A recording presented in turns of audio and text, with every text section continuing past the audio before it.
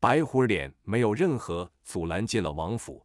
在那些当年被北凉铁骑踏破家园门派的江湖人来说，这里不仅进门难于登天，里头更加危机重重，与拥有天下第二坐镇的武帝城和剑仙辈出的吴家剑种并称三大禁地险境。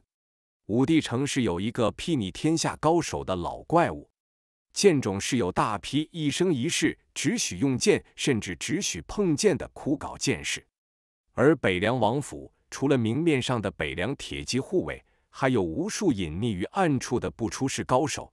那一场武林浩劫，人屠徐骁不仅割稻草一般成批杀掉了无数成名已久的江湖高手，也一样招来了相当规模、品性不佳但实力变态的走狗。最初的无名小卒徐骁，自打上阵第一天便几乎不卸甲、不下鞍，将近四十年，看似没个止境、平步青云。足以让徐骁这个所有武林人士闻风丧胆的大魔头去豢养不计其数的门客、说客、侠客和刺客，赐予重金美币或者名利权位。武库建成后，更有各色武痴前往求学，心甘情愿为北凉王卖命镇宅。正常人谁敢去拔徐骁的虎须逆鳞？敢在徐骁面前自称老子，并且动粗的，不过一人而已。唯有领着白虎脸南宫仆夜进入王府的徐凤年，此刻世子殿下三言两语给只知一个姓名的白虎脸介绍王府风景。徐凤年如自己所说，吃不了苦，学不了武，空有天下武者梦寐以求的武库，却只晓得在里头看些旁门左道的末流杂书。因此，徐凤年对王府阴暗处的三步一杀机没有太多玄妙感受。白虎脸则不敢掉以轻心，到了气象巍峨的厅朝廷底下，抬头望着亭顶，眼神复杂。说是亭子，其实是一座正儿八经的阁楼，攒尖顶，层层飞檐，四望如一。徐凤年轻笑道：“对外宣称六楼，其实内里有九层，数字起于一级于九嘛。但估计京城那边有人会吃饱了撑着说风凉话。”就成现在这个样子了。如你所见，下四层外有回廊，五六可做瞭望厅。顶楼没有摆放任何书籍物品，空无一物。阁内专门有五人负责将武学秘籍按照修习难度从下往上依次摆放，应该就是江湖上所说的守阁奴，都是我打小就认识的老家伙，神出鬼没的。抄书人只有一人。我就是跟他学的字画丹青，并老子一个，比鬼更像鬼，但还是嗜酒如命。我每次上楼都得给他带酒。守阁的武奴若说是高手，我信。我这半个师傅如果是，我就从九楼跳下来。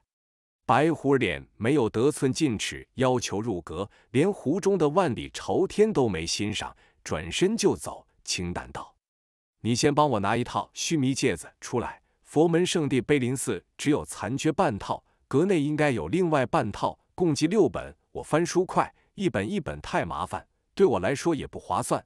因为你上楼所需的酒钱，我来付账。秀东和春雷，我只能给你其中一把，所以你少登几次楼，我便多心安理得几分。徐凤年略带讨价还价嫌疑，轻声问道：“我能要那把春雷吗？”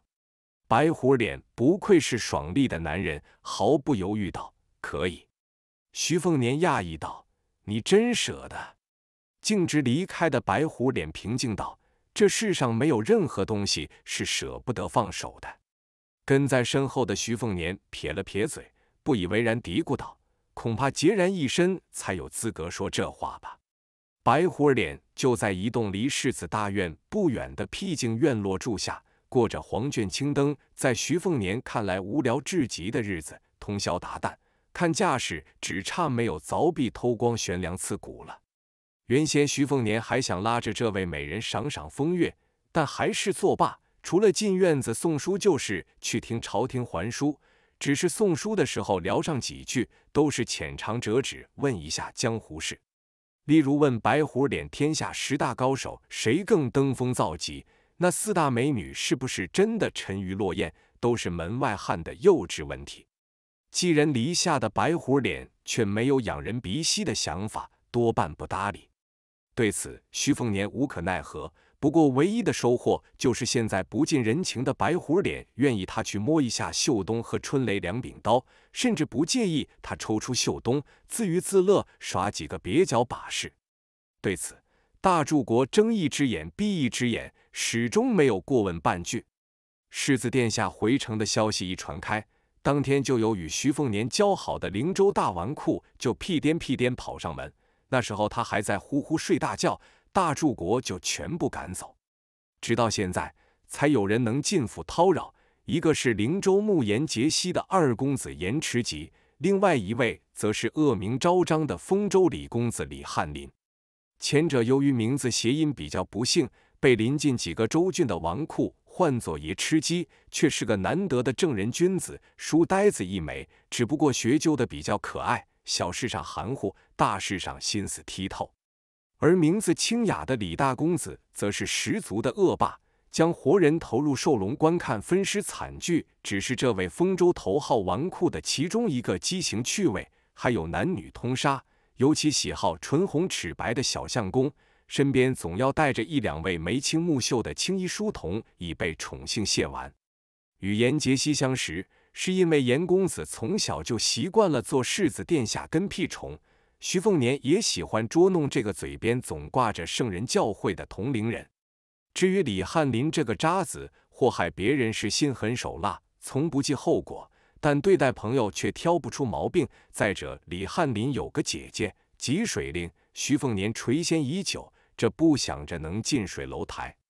除了书呆子严持吉和恶少李翰林，原本还有一个要好的官宦子弟，姓孔，只是随着父辈升迁进京做官，已经四年没见，那是个武痴。四人聚在一起，基本上分工就属于为首的徐凤年出馊主意。心思缜密、算无一策的严持吉负责擦屁股，孔武吃出力。如果事情败露，那就让破罐子破摔的李翰林背黑锅，天衣无缝。凤哥给徐凤年做了十多年小跟班的严持吉已然是翩翩公子哥，但一见面就是渲然欲泣的模样，道出一声百转柔肠的亲昵称呼后，就眼眶湿润。哎，这家伙啥都好。就是娇气、多愁善感、悲春伤秋，像个娘们。也难怪李翰林觉得这家伙跟他一样有龙阳好。只是他爷们是玩弄小相公，严持吉却是钟情于凤哥。凤哥，李翰林的招呼就要霸气许多，想要跟久别重逢的徐凤年拥抱一下，被后者一脚抬起，轻轻抵在他腹部，笑骂了一句：“离我远点。”一身从男人身上带来的脂粉气，狐朋狗友重聚于清凉山山顶最适合远眺的白鹤楼。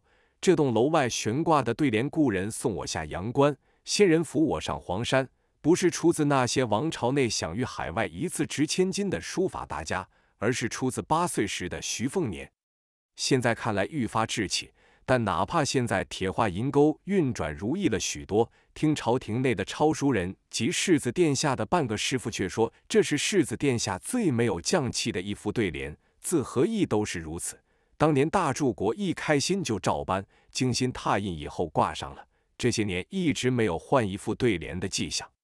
徐凤年没怎么诉说这三年的辛酸困苦。只是挑了些新鲜的武林轶事见闻，给两个同龄人讲述，娓娓道来，听得两人一惊一乍，艳羡万分。喝掉一壶酒，徐凤年也差不多讲完。严持吉和李翰林还在回味。徐凤年走到回廊，趴在栏杆上，轻轻一笑，道：“这下子你们知道自己是井底之蛙了吧？爷吃鸡以后肯定能读万卷书，我也走了几千里路，那翰林你……”大大咧咧的李翰林挠挠头道：“要不然以后捞个将军做，杀一万个人。”严持吉鄙夷道：“莽夫！”李翰林跳脚道：“这话你敢对大柱国说去？”严持吉语塞，一时间无法应答反驳。徐凤年提议道：“骑马出去溜一圈。”李翰林第一个附和，兴高采烈道：“那一定要去紫金楼。于花魁这三年为了你。”可是没有一次接客，名头都被一个新花魁给压过了。徐凤年问道：“带银子没？”李翰林拍了拍鼓出很多的肚子，嘿嘿道：“瞧见没？这趟出门，本公子从密室偷了一万两银票，为了凤哥，可是豁出血本了。回去被禁足也认了。”严持吉嘲讽道：“瞧你出息的！”李翰林皮厚笑道：“那你倒是偷点出来啊！不说一万两，就一千两，你敢吗？你们书生啊，就只会纸上谈兵，真要骂架斗殴这类干正经事，哪次不是凤哥我们三个出列？给你个脱光光的娘们都不敢在他肚皮上翻滚，还敢说我没出息？”严持吉涨红了脸，冷哼一声。每一个以天为被、以地为床的凄凉夜晚。听着不远处老黄的刺耳鼾声，由怨天尤人转为苦中作乐的徐凤年，都会怀念几个死党拌嘴的光阴，还有一同跃马南淮河畔，一同调戏良家，一起高歌上青楼，一起闯祸，一起作孽，一起大醉酩酊。三人异口同声道：“走一个。”